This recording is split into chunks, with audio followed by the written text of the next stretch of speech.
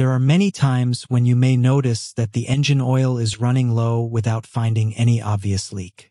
At that time, the question you think about is, why is the oil running low without the car leaking? You should know that there are two main possibilities. Either there is a hidden leak that is not visible to you, or the oil is burning inside the engine. Sometimes you find the oil light suddenly lit up on the dashboard, which means there is a lack of oil, but there is still no sign on the ground or around the engine indicating a clear leak. The truth is that there are many places inside the car where oil can leak without you noticing, such as the engine oil seal or the timing cover. This requires an inspection by a good mechanic to accurately determine the problem. If you cannot treat the matter quickly, the lack of oil can cause very serious problems and sometimes lead to permanent damage to the engine. Therefore, always remember that the engine is the heart of the car, and it must have a sufficient amount of oil to operate efficiently. To avoid any problems, check the oil level at least every two weeks and use check the dipstick and see if the oil level is between the two marks on the dipstick, minimum and maximum, or if it needs to be topped up. If you find the oil below the lower mark, you need to top it up immediately. It's perfectly normal for an engine to lose a little oil over time, and this is nothing to worry about. However, when you notice the oil decreasing quickly without any obvious leak, that's when you start to worry. In today's episode, We'll talk about the reasons why your engine oil level could be decreasing without any obvious leakage, how to differentiate between these causes and what the correct course of action should be in each case to protect your engine from any possible damage. Let's get started.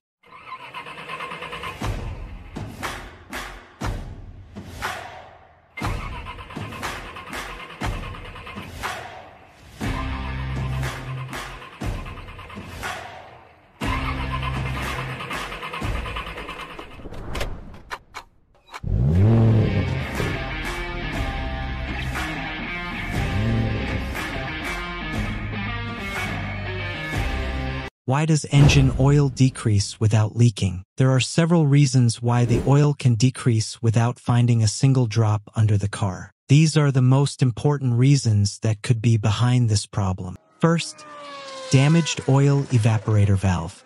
If the evaporator valve is completely clogged, engine pressure will begin to rise. This can cause engine oil to leak from areas such as the front or rear engine oil seal, or even the valve cover gasket. Also, if this valve is clogged, polluting gases containing fuel residue will remain inside the engine, causing the oil to burn and deteriorate without you noticing. The good news is that replacing the evaporator valve is easy and quick, and it doesn't cost a lot. Second, damaged piston rings. If the engine is consuming oil, you'll likely see gray-blue smoke coming out of the muffler. This is a sign that the oil is burning inside the cylinders. The reason for this is that the piston rings, which prevent oil from leaking from the oil chambers to the combustion chambers, have become damaged or weak. When the piston rings become weak, the oil will begin to enter the air-fuel mixture and burn. This not only reduces the oil, but can also damage the entire engine over time. Unfortunately, Solving this problem isn't simple, as you'll need to completely overhaul the engine and install new piston rings. This is a rather large and costly process. Third, using the wrong type of engine oil. If you continue to use the wrong type of oil for a long time, this will affect the engine components and cause them to wear out more quickly. This can shorten the engine's lifespan over time. For example, if your car is older or has traveled a lot of miles, and you use fully synthetic oil, you may notice a leak. This is because synthetic oil moves more easily than conventional oil, entering tight spaces where it's not supposed to. Also, if you choose an oil with an inappropriate viscosity, i.e., too thin, in hot weather or under pressure, this oil may burn or fail to adequately lubricate engine parts. This will, of course, affect engine efficiency. Therefore, always refer to the recommendations in your owner's manual or a trusted mechanic and use the appropriate oil for your vehicle. Fourth, delaying oil changes. Most new cars can travel between 5,000 and 15,000 kilometers before needing an oil change. However, this isn't a fixed number because driving habits vary greatly. If you're constantly driving in the city or on short trips, you'll need to change your oil and filter more often than someone who drives long highways. Also, if you're towing a trailer, driving in extreme heat, climbing mountains, or even sitting in the car while it's parked for extended periods, this consumes the oil faster and makes it need to be changed earlier. Therefore, especially in the Gulf countries and the Middle East in general, it's best to change the oil and filter every 5,000 kilometers and a maximum of 10,000 kilometers. Don't forget that if you continue to delay changing your oil, its viscosity may decrease and it may start to burn inside the engine, which will damage the engine and cost you a lot. Fifth, damaged valve seals. Valve seals play a very important role because they control the amount of oil reaching the air and fire valves and also help lubricate them properly.